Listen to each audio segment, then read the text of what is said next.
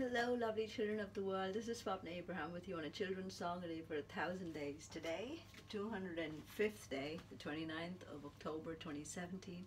The song we've written is called Only One Like You. Let's sing it.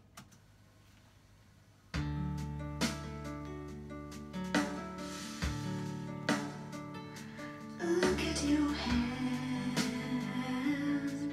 There's only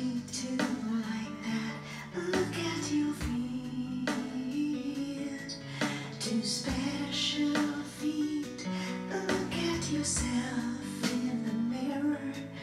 There's